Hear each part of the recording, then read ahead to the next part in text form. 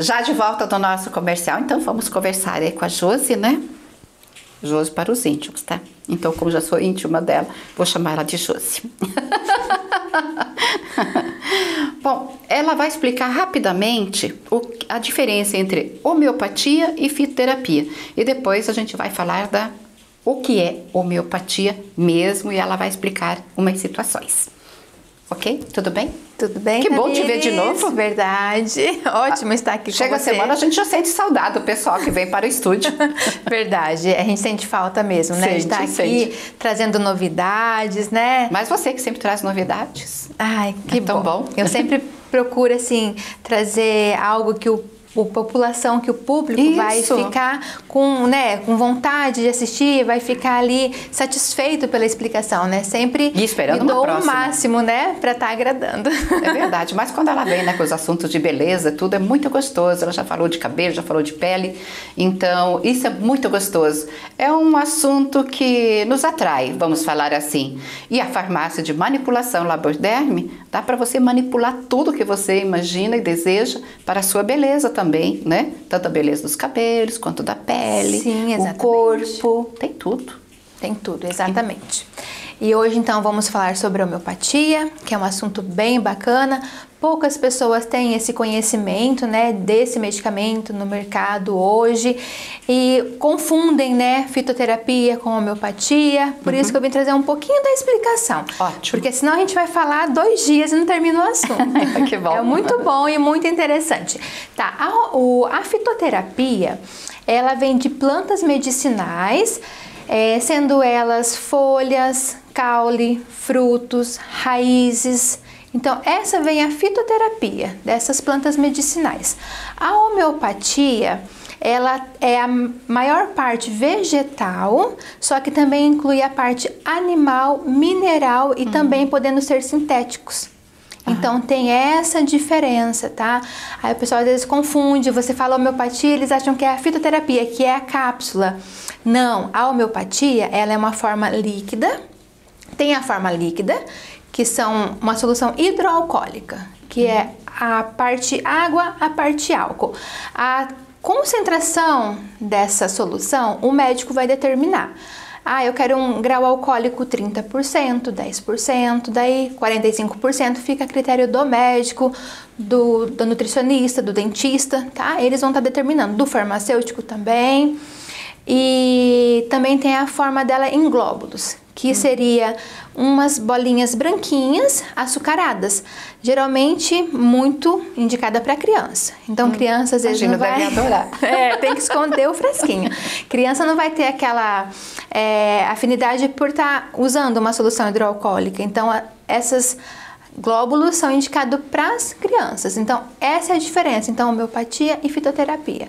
Os dois naturais, sim, é, fora a parte sintética da homeopatia, É mas também é levado pra, pela forma é, natural de como ela é preparada, de como ela é feita. Uhum. E tudo isso dá para manipular. Sim, dá para manipular. A farmácia Laborderme, ela conta com uns três farmacêuticos capacitados, habilitados para estar atendendo cada prescrição. Todos nós temos o registro no Conselho Regional de Farmácia, né? Na homeopatia temos os cursos, temos as horas aulas, tudo certinho para atender cada vez melhor o nosso cliente. Isso que é importante. Agora, a homeopatia, por exemplo, para as crianças, na farmácia, o que, que se pede mais para manipular? A carro-chefe hoje, Hoje. depois dessa pandemia, são os calmantezinhos. Chamomila. Não acredito, e, sério? Sim, devido. Eu falo que. ah, por mais que a gente não comente tudo perto das nossas crianças, eles acabam ouvindo. Mas hoje em dia, chamomila, que é um, um calmantezinho natural, muito indicado pelos médicos, Uhum. tratamos muito tosse, a parte da gripe, A- a tosse imunidade. é a moda do momento. Isso, mas é excelente. O tratamento para imunidade homeopático, tosse, gripes, resfriados, hoje em dia é o que mais tem. Sim, porque, gente, como com a pandemia, como e uma tosse persistente de Sim. ficar semanas semanas. Verdade. E da pessoa não melhorar, ter que procurar um médico, começar a tomar um antibiótico Isso. e ainda, olha lá, se melhora. Isso, e foi bom você citar o antibiótico, porque a homeopatia você pode fazer tanto o tratamento alopático, que são os medicamentos de referência da farmácia, quanto ela junto, tá? Você não vai tomar no mesmo horário, mas você pode estar fazendo uso dos antibióticos. Uma diferença de horário? Isso, meia horinha após tomar um, você pode estar tratando também com homeopatia. Você pode associar, que não tem problema nenhum, você associar a homeopatia com o medicamento é, alopático da farmácia convencional. Gente, porque essa tosse, principalmente, e, não, e, também não está pegando só as crianças, né? Adultos também. Adultos também. Então, essa tosse que às vezes você está aí tossindo tanto que muita gente fala assim, gente, só, só falta eu gusti, é, tossir meu pulmão, né? Verdade. Porque verdade. de tanto que a tosse é persistente. E à noite a pessoa não consegue dormir. Parece que a tosse gosta do, do calor da cama. Daí você tosse mais ainda, tosse né? mais ainda. Por isso O a necessidade de você entrar talvez com um alternativo, que é a homeopatia. Que tem como. tá auxiliando, né? Verdade, porque é a tosse, é os resfriados que pa- aparecem com mais frequência, Sim. as dores de cabeça, é, até mesmo o próprio trauma do Covid, que muita gente carrega isso aí, principalmente quem passou por ele. Exatamente. É, Que tem o calmante, o calmante que você a falou. chamomila, isso, Isso que aí, é para ansiedade, também ajuda muito na Vocês ansiedade. acham que as crianças, por exemplo, não têm ansiedade? Tem. Eles têm, tem sim, eles têm. E eu tenho vários mães, vários pais que me procuram, me procuram para estar pedindo uma orientação Ah. em relação a essas crianças, né? E a- a- na parte adulto, que é uma curiosidade também da homeopatia, que várias pessoas não sabem, é para labirintite. Ah, nós temos a homeopatia também para labirintite, que ajuda muito para quem tem aquelas crises. Para o adulto também para ansiedade. Temos várias fórmulas é, que os médicos podem estar indicando, mas a farmácia também, o farmacêutico habilitado, ele também pode estar fazendo essa orientação ao cliente. Ai, que bom, gente. Muito bom mesmo. Então, olha, não é só para as crianças, né? Então, tem para as crianças e para os adultos também. Agora, homeopatia, por exemplo, é, tem que ter uma, uma receita médica ou não precisa porque é um produto natural? Isso, ele é um produto natural, porém ele também tem os, as suas indicações. Então, assim, é, atendemos muitos médicos, tá? Assim, o pessoal que procura os médicos homeopatas, né, em Moarama e região. Mas também podemos estar ali fazendo a nossa orientação, tá? É, dentista também pode estar prescrevendo. É, Recebi é, receita semana passada de uma dentista de Moarama, uma prescrição excelente, porque a gente às vezes acompanha todas as prescrições, né? Mas era Para uma diferente. criança. Excelente a prescrição dela em relação ao tratamento daquela criança, que é dentista, mas associou uma homeopatia para ansiedade.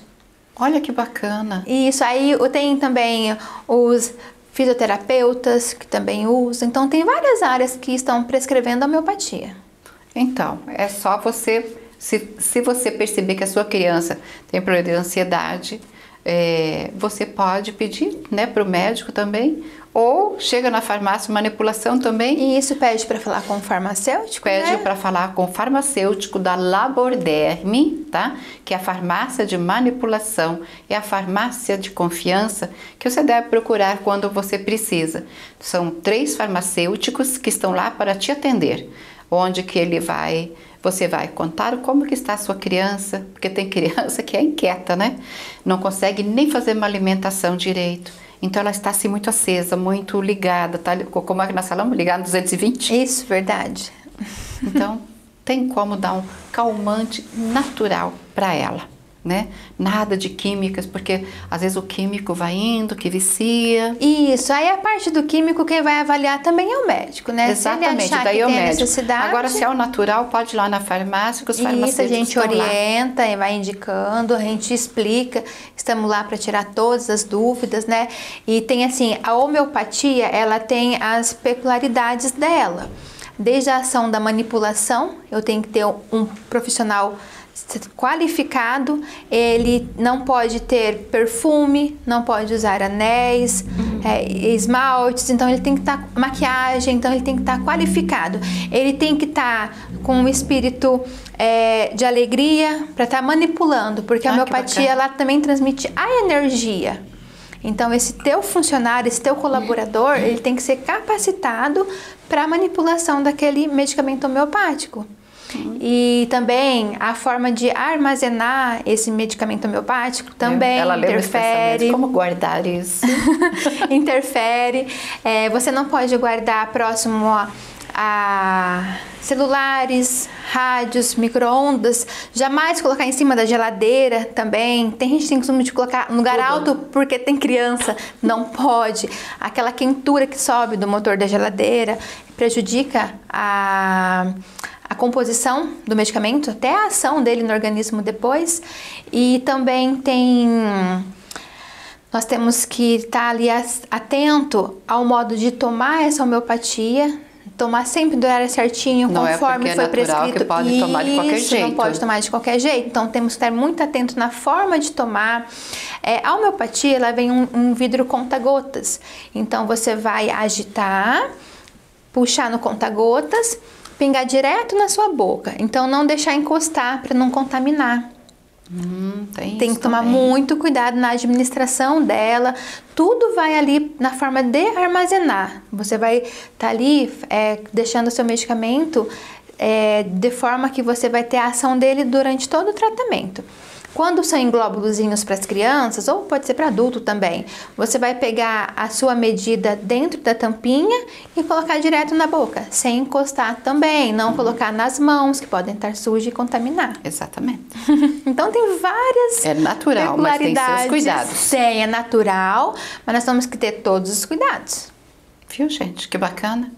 Mais um quadro, né, da farmácia de manipulação Laborderme com a Josiane Almeida de Alvarenga. Então, precisou de produtos tanto na homeopatia quanto na fitoterapia, né? Os fitoterápicos, é, cremes, shampoos, o que você desejar. Esta farmácia manipula tudo o que você deseja tá bom? Eu vou te deixar à vontade para você deixar um recado para o pessoal de casa. Sim, eu quero agradecer, Tamires, mais uma vez estando no seu programa maravilhoso, com você, que é uma pessoa maravilhosa. Obrigada, obrigada. Adoro vir aqui. eu também gosto. e no, eu só deixar um recadinho então para vocês em relação aos nossos laboratórios homeopáticos, que eles são altamente qualificados. Vocês também às vezes, por curiosidade, pode estar indo até a farmácia, conhecer um pouquinho mais sobre a homeopatia, sobre as ações dela, validade, conservação, qualquer dúvida que tenha ficado, pode nos procurar, pode me procurar na farmácia que estaremos à disposição. E lembrando que a farmácia Laborderme é a sua farmácia de manipulação de confiança. E yes, e yeah, é, assina embaixo. É verdade. Eu sempre que preciso dos meus manipulados, é só calabordé. E já faz anos, viu, gente? E é muito bom. É, o, o interessante tudo isso é quando você confia, né? Você tem os produtos, tudo direitinho, vem direitinho. É uma farmácia de confiança mesmo, literalmente. Então, as crianças estão aí muito, né? Ligado 220, mãezinha. E você já está assim de cabelo arrepiado? Então, dá uma chegadinha lá que pode conseguir, então, né? Esse calmantezinho aí para as crianças. Obrigada, que Deus te abençoe Eu e até uma próxima. Amém, até.